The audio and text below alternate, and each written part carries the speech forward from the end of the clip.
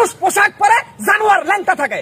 আজকে তারা মানুষ সত্যের খাতা থেকে নিজের নামকে কেটে দিয়ে জানোয়ারের খাতায় লিখতে চায়। আসসালামু আলাইকুম প্রিয় বন্ধুরা পোশাক স্বাধীনতা নিয়ে যে সমস্ত মেয়েরা আন্দোলন করেছিল এবার সে সমস্ত মেয়েদেরকে কঠিন ধুলাই করেছে ভাইরাল হকার। বন্ধুরা ভাইরাল হকার কি বলেছে সেটা আপনারা দেখতে পাবেন। তাই বন্ধুরা ভিডিওটা সম্পূর্ণ না দেখে কেউ কোথাও যাবেন না। ভিডিওটা ভালো লাগলে অবশ্যই লাইক দিবেন এবং বেশি বেশি শেয়ার করে অন্যকে দেখার সুযোগ করে দিবেন।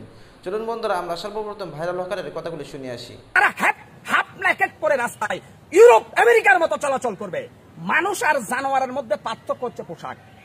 মানুষ পোশাক পরে জানোয়ার ল্যাংটা থাকে। আজকে তারা মানুষ সত্যের খাতা থেকে নিজের নামকে কেটে দিয়ে জানোয়ারের খাতায় লিখতে চায়। আপনি যখন কালিমা পরে মুসলমান দাবি করবেন, তাহলে কোরআনের আইনকে বিদ্যাঙ্গুলি দেখাবেন। আমেরিকা, ইউরোপের ক্যান্সারের মতো। এটা হতে দেওয়া যেতে পারে না। আমরা মুসলমানরা বরদাস্ত করব না। তারা তোর মতো রাস্তায় রাস্তায় বেলাউজ ছাড়া শাড়ি পরে হাঁটে নাই। তুই হলি তসলিমা নাসরিনের উত্তর সরি ইবলিশ শয়তানের দোষর। তোর উপরে আল্লাহ যেন নালা করে। তুই এই সমাজের ক্যান্সার। সত্য বলতে গিয়ে বলেছিলাম, বহু বক্তব্যে পাশির কাষ্ট তুলবো, প্রয়োজনে মৃত্যুবরণ করব। কিন্তু শয়তান, মুনাফেক, মুরতাদদের সাথে চোখ রেখে কথা বলার সাহস আমার হয়ে গেছে। আজকে বলব, টিএসসি সত্তর থেকে শাহবাগে, কিছুদিন পর পর এদের একটা ব্যারাম আছে। এই জাতির এরা অহেতুক আন্দোলন শুরু করে।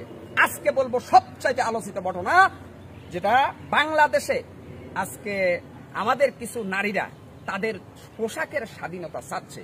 আমি ঠিক ভালো করে বুঝতে পারি নাই যে এটা স্বাধীনতার মানে কি। স্বাধীনতার মানে হচ্ছে তারা হ্যাপ হাফ ন্যাকেট পরে রাস্তায় ইউরোপ, আমেরিকার মতো চলাচল করবে। মানুষ আর জানোয়ারের মধ্যে পার্থক্য হচ্ছে পোশাক।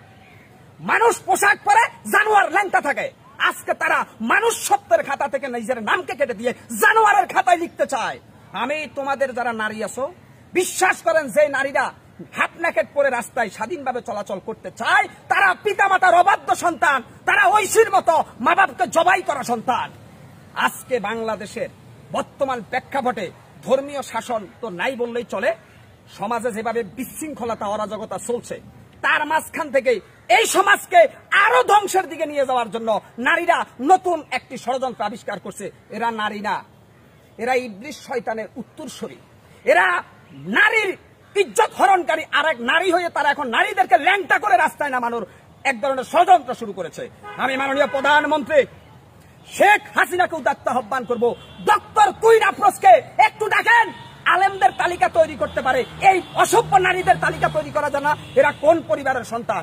আমি চ্যালেঞ্জ করে বলতে পারি, যেই নারীরা হাফ ন্যাকেটের স্বাধীনতা চাচ্ছে এরা কেউ সুনামধন্য পরিবারের সন্তান না। এরা পিতামাতার পদভষ্ট সন্তান। তোমরা নারীরা, মায়ের জাতি, তোমাদেরকে সবাই সম্মান করে। আল্লাহর কোরআনেও আছে। এই পৃথিবীতে মায়ের পায়ের নিচে সন্তানের বেহস্ত আমার মা একজন নারী, আমার বোন একজন নারী।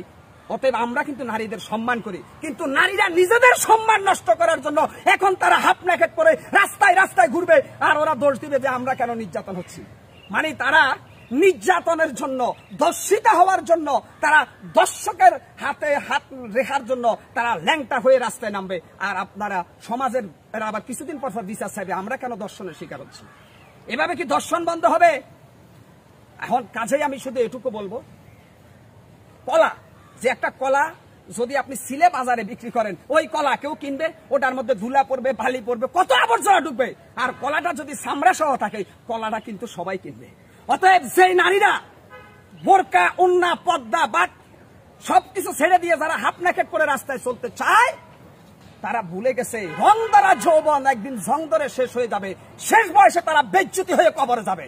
এদের সম্মান এই দুনিয়াতেও নাই, এদের সম্মান কাল হাসরের ময়দানেও নাই, আল্লাহর কাছেও নাই। মুসলমানের খাতায় নাম লিখে আপনি বলবেন যে আমি আমার ধর্মীয় আমি পোশাকের স্বাধীনতা চাচ্ছি। এখন কত হচ্ছে? আমি উদাহরণ দিচ্ছি একটা। স্কুলে যাবেন কি যাবেন না, আপনার সিদ্ধান্ত। স্কুলে যাওয়ার পরে মাস্টারের কথা তো শুনতে হবে। আপনি যখন কালিমা পরে মুসলমান দাবি করবেন, তাহলে কোরআনের আইনকে বিদ্যাঙ্গুলি দেখাবেন। আমেরিকা, ইউরোপের ক্যান্সারের মতো। এটা হতে দেওয়া যেতে পারে না। আমরা মুসলমানরা বরদাস্ত করব না। আজকে আলেম সমাজ কথা বলতে পারে না। আজকে হাজার হাজার ভুল করা ব্যক্তি যেমন পরিমণি, জেলখানার থেকে হাতে মেহেন্দি নিয়ে বের হয়। আজকে যুবলীগের সম্রাট ফুলের মালা নিয়ে জেলখানা থেকে বের হয়, অথচ কোরআনের পাখিগুলো জেলখানায় পৌঁছতেছে। এটি অশনি সংকেত। আল্লাহ পাক ছাড় দেয়, কাউকে ছেড়ে দেয় না। তামেরও আপনারা বাঁচতে পারবেন না। আল্লাহর গজবে আপনারা নাস্তানাবুদ হয়ে যাবেন। সময় আছে? আলেমদেরকে ফুলের মালা দিয়ে থেকে ছেড়ে দেন। মুক্ত আকাশে, মুক্ত বাতাসে আলেমদেরকে আপনারা আবারও মাহফিল করার সুযোগ দেন। আর না হলে এই দেশের উপরে আল্লাহর গজব পড়ার সম্ভাবনা আমি দেখতেছি একজন হকার হিসাবে।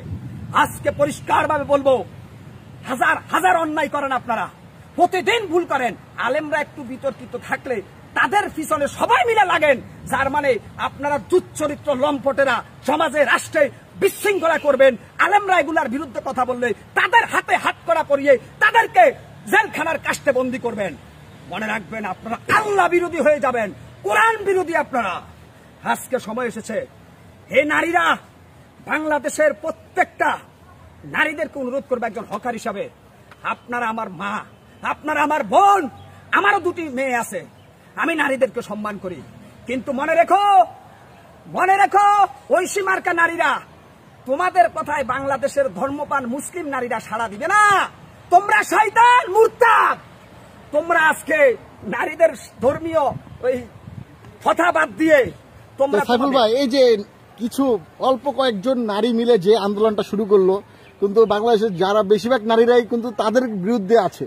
এবং তাদের বিরুদ্ধে কথাবার্তা বলছে। সেটাকে আপনি কীভাবে দেখছেন আসলে? বাংলাদেশের ম্যাক্সিমাম নারীরা আজানের সময় কাপড় দেয়, আমার দেশ গ্রামে দেখছি। অতএব বাংলাদেশের গ্রাম অঞ্চলের প্রত্যেকটা মেয়ে পদ্মা, বোরকা এগুলাকে ভালোবাসে, তারা তাদের ইজ্জত আব্রুকে ডাকতে চায়। কিন্তু এরা তুচ্ছরিত্রের কারণে, পিতামাতার অবদ্ধ হওয়ার কারণে, এরা আজকে সমাজে ল্যাংটা হয়ে রাস্তায় হাঁটবে, অন্য নারীদেরকে তারা ওই যে ফলবান দিবে, তাদের মতো যেন তারা ওই রাস্তায় ল্যাংটা হয়ে হাঁটে, ওদের ইজ্জত নাই। যে নারীরা আজকে পোশাকের স্বাধীনতা চাচ্ছে, আমি বিশ্বাস করেন, সারা বাংলাদেশের মানুষকে চ্যালেঞ্জ করে বলতে পারি, ওই মেয়েরা অনেকে অজুর দোয়াটা পর্যন্ত জানে না, নামাজের দোয়াও জানে না, ওরা যদি কোরআন জানতো, ওরা জানতো না যে এটার শাস্তি কতটা ভয়াবহ।